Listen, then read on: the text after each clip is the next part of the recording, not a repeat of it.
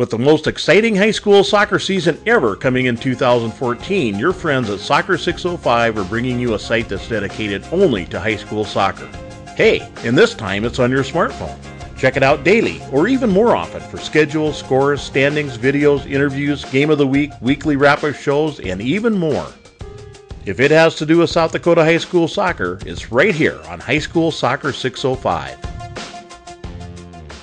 Soccer 605. We're here with freshman goalkeeper for the West Central Trojans, Hailee Fischer. Hailee, you had a great game today. I know they got some in on you, but your technique was really, really nice to watch. Well, thank you. We also played well as a team, and it was really good to see how we could come together. And you guys did. I mean, it was really nice to see the, how, the way your team is able to move the ball up and down and back and forth across the field, but also to play some direct soccer.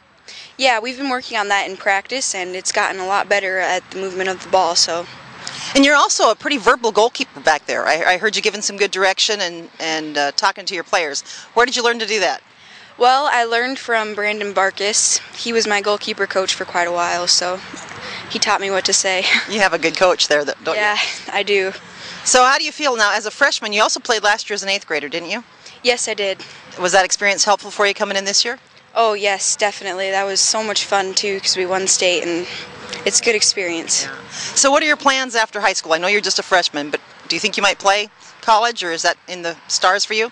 Yes, I really, really want to play college soccer. I my goal is to play Division One somewhere. And do you know what you want to take for, up for a program in education? I want to be an educator, actually. So Oh wow, that's great. Can always use more educators, especially ones that give good instruction, like like you do from the goal. yeah, it works out. So yeah. All right. Well, Hailee, I know that they're waiting for you to catch the bus and head back home. Uh, it was great watching you play today. It was it was a great game to, to enjoy, and best of luck in the rest of the season. We always love watching you guys play.